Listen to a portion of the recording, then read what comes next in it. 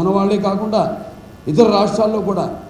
అంటే pan India cinema అయింది ఇది ఇప్పుడు. ప్యాన్ వరల్డ్ సినిమా అయింది వాళ్ళు ప్రపంచం మొత్తం మాట్లాడుకుంటారు ఈ సినిమా గురించి. మనమే కాదు తెలుగు వాళ్ళమే కాదు లేకపోతే భారతీయులమే కాదు. ఇవాళ పొద్దునే చూశాను పాకిస్తాన్లో కూడా అక్కడ వాళ్ళు అది ఎవరు నాకు వాట్సాప్ చేశారు. అక్కడ వాళ్ళు మాట్లాడుకోవడం మన సినిమా గురించి. మన పాకిస్తాన్లో మన అఖండ సినిమా గురించి. సో అంత అద్భుతమైన అంటే ఇది ఇప్పుడు ఇందాక అన్నారు మా మా గారు మా కాంబినేషన్లో సినిమా అనగానే అన్నారు నేను కాంబినేషన్ అంతే అన్నారు. మరి కాంబినేషన్ ఎటువంటి సినిమా కాదండి ప్రజల ఎక్స్పెక్టేషను మన ఎక్స్పెక్టేషన్ కంటే కూడా. ఎందుకంటే మాకు సినిమా చేసినప్పుడు ఎప్పుడు చెప్తూ ఉంటాను చాలాసార్లు సందర్భాల్లో చెప్పడం జరిగింది.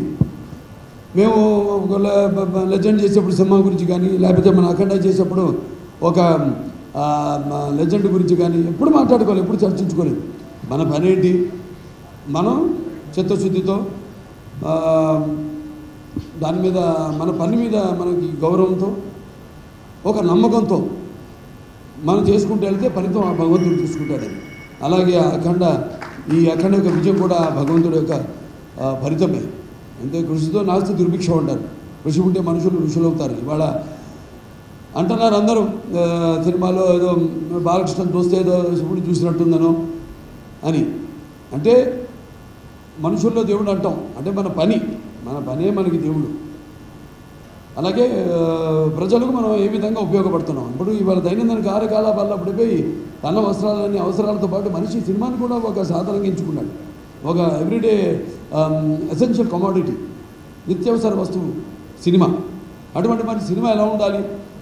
దాని అన్న- అటు ఆ- వైపు నుంచి మన నిర్మాతలు మన దర్శకులు వాళ్ళందరూ ఆలోచించవలసిన విషయం అయితే మరి ఆ సినిమాకి సంబంధించిన మరి మిగతా అంటే బ్యారఫ్ అంటే దానికి సంబంధించిన ప్యాడింగ్ అంటే ఏ నటులు దాంట్లోకి ఇమ్మడతారు ఆ పాత్రలోకి? అలాగే ఏది ఎలా ఉండాలి?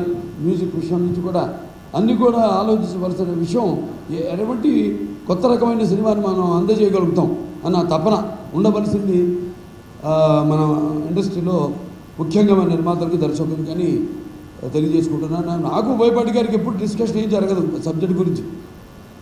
మాకు కట్టే కొట్టే తెచ్చి అంతే.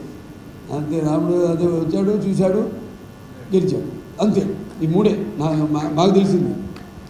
ఆ తర్వాత ఆ సినిమా గురించి సీన్స్ గురించి కానీ ఏది నేను డిస్కషన్ చేయడం కానీ చెప్పడానికి వచ్చినా కూడా నేను తప్పించుకోవడానికి ప్రయత్నిస్తాను ఇప్పుడు ఎందుకంటే మాకున్న